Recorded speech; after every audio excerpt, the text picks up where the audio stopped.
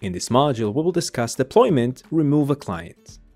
In case you would like to uninstall the client, we can go to Computer Management, select the device we would like to uninstall. In this case, it's PC10, Push Operations, Agent Settings, and Uninstall.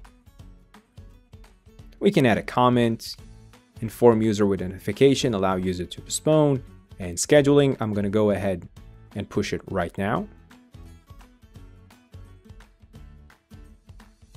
And here you go. You can just uninstall the agent remotely.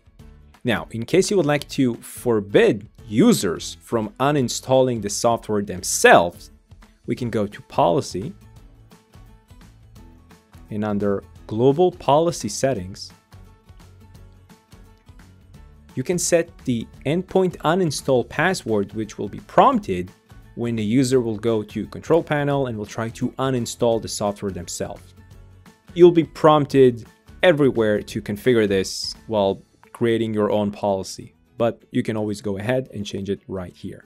Moving to my Windows client, I can see this message right here, uninstall, a remote uninstall operation was scheduled to run on your computer. I'm gonna go ahead and start it right now. And that's it.